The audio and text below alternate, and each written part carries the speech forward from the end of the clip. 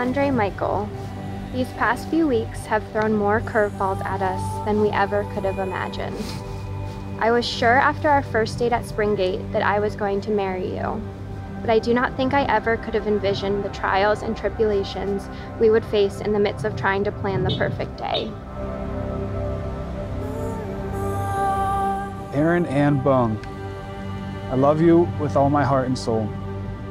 Since the day I finally convinced you to go on a date with me after turning me down twice, to the day you finally convinced me we needed a puppy, to today when we are both ready to marry each other, I've always known you are everything I have ever wanted.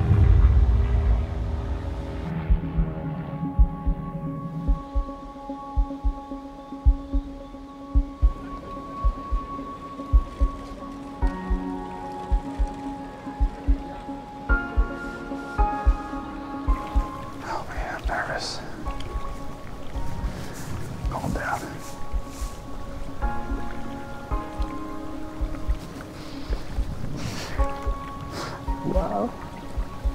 You look amazing. God, thank you so much for bringing us to this day. We had no idea what it would look like, and now it's changed again. Here we are on a boat launch. But God, we just thank you. We thank you so much. Thank you for Erin. Her beauty is just overwhelming. You have fulfilled my every dream and have proven to me that love can be found in the most unexpected places. You have shown me what unconditional love looks like and have reaffirmed my faith in God's perfect plan.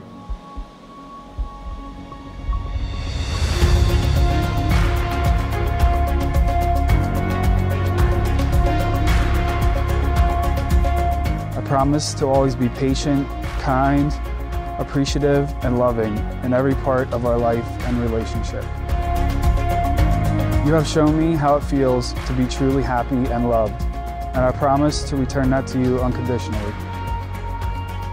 Your grace and strength to stand by me, guide me, and hold me through it all has only solidified what I've already known, and that is with you, I can get through anything.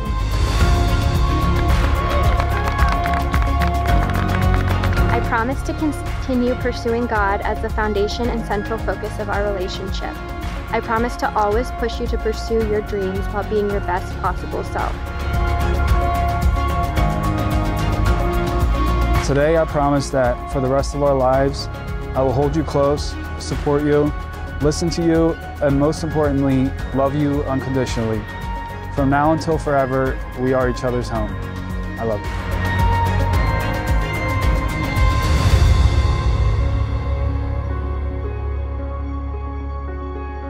I love you so very much, Andre Michael. You are a dream come true and everything good. I am so excited to be your wife, and I cannot wait to grow old with you.